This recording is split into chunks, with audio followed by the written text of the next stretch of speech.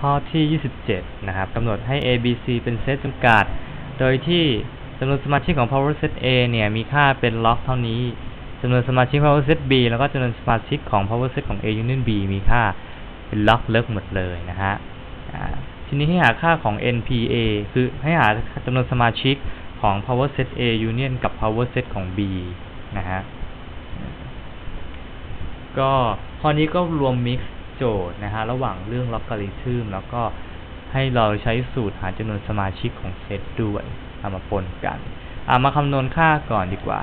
นะฮะเรารู้ว่า n ของ power set จำนวนสมาชิกของ power set A เนี่ยนะฮะมีค่าเป็นล็อกของ4รูท2 4 ก็แปลงเป็น 2กำลัง2รูท2ก็แปลงเป็นอะไรฮะ2กำลัง1ส่วน2ใช่ไหมส่วนบางของล็อกการิทึมนะฮะเลขชี้กำลังของ พวกนี้เนี่ยสามารถตกไปข้างหน้าได้หมด เพราะฉะนั้น2นี่ก็มาไว้ข้างหน้านะฮะ1ส่วน2ก็ไปไว้ข้างล่าง เพราะฉะนั้นก็จะกลายเป็น2ส่วนด้วยเศษ1ส่วน2ก็มีค่าเป็น4ส่วนตัวล็อกตายไป เพราะมันเพราะว่าอีเลขชี้กำลังมันไปหมด มันก็เหลือล็อก2ฐาน2ล็อก2ฐาน2คือ1นะฮะไม่มีประโยชน์อะไรก็เหลือแค่4อ่ต่อมาหาจำนวนสมาชิก NPB ต่อ NPB นะฮะ ก็คือ รูทห้ารูทห้านี่ก็คือห้ายกกำลังเศษหนึ่งส่วนสองเนาะแล้วก็คูณกับล็อกของเดิมนะฮะก็คือล็อกห้าล็อกสองร้อยห้าสิบหกส่วนห้าสิบหกก็คืออะไรสองร้อยห้าสิบหกก็คือสองยกกำลังแปด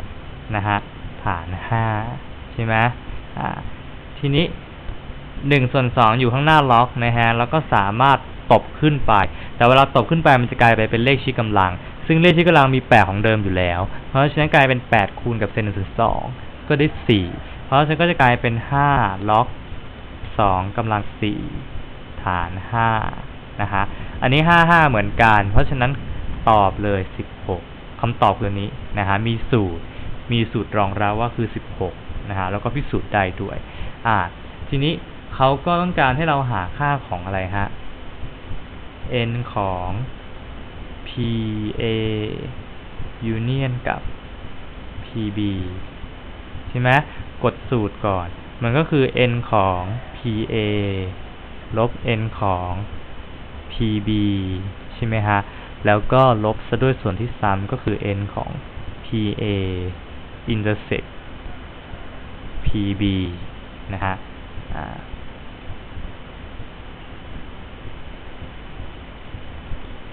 เอ่า NPA เท่าไหร่ฮะสี่อันนี้บวกโทษที NPB ก็คือสิบหกอ่าแล้วก็ลบด้วยส่วนที่ซ้ำทีนี้ส่วนที่ซ้ำเนี่ยยังไม่รู้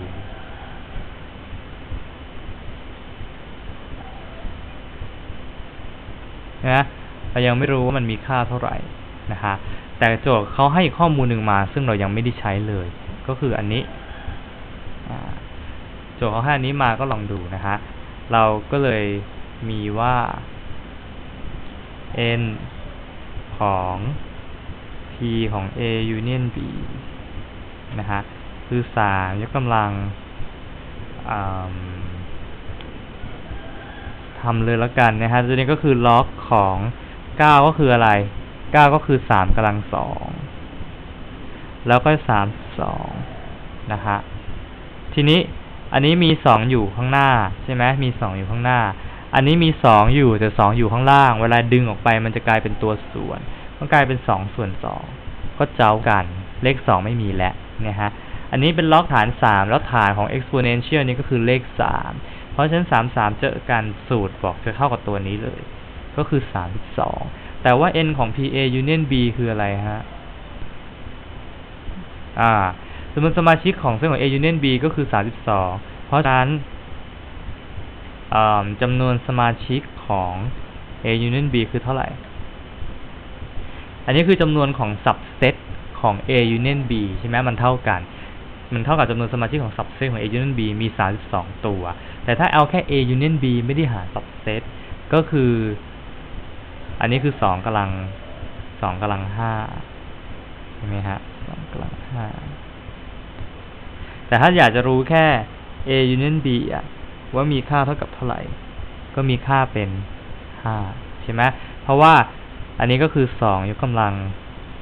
n a union b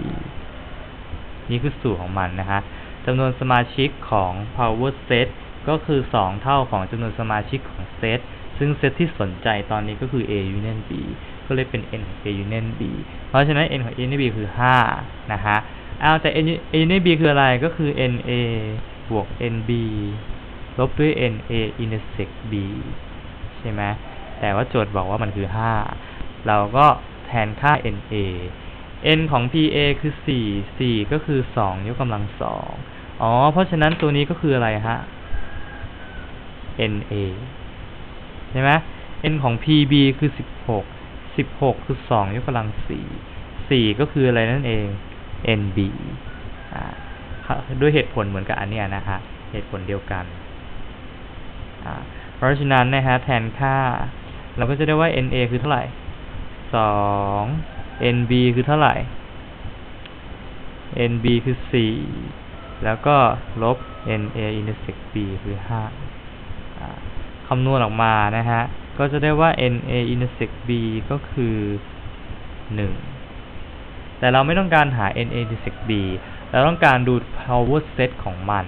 ใช่ไหมดู power set ของมัน เพราะฉะนั้นเราก็เลยได้อีกนะฮะว่า n ของ p ของ a intersect b ก็คือ 2 ยกกำลังตัวนี้ ก็คือ 2 ยกกำลัง1นะฮะ ก็คือ 2 เห็นไหมแต่ว่า n ของ pa intersect b เนี่ย มันมีค่าเท่ากับ n ของ pa intersect กับ pb นะฮะ ซึ่งมีค่าเป็น 2 ตามที่คำนวณ เพราะฉะนั้นตัวนี้ก็เลยมีค่าเป็น 2 ก็แทนเข้าไปนะฮะแทนเข้าไปก็จะได้เป็น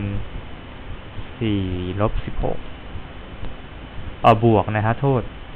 นี่4บวก16 นะ แล้วก็ลบ 2 ก็เป็น 20ลบ2ก็เป็น 18 เพราะฉะนั้นก็ตอบ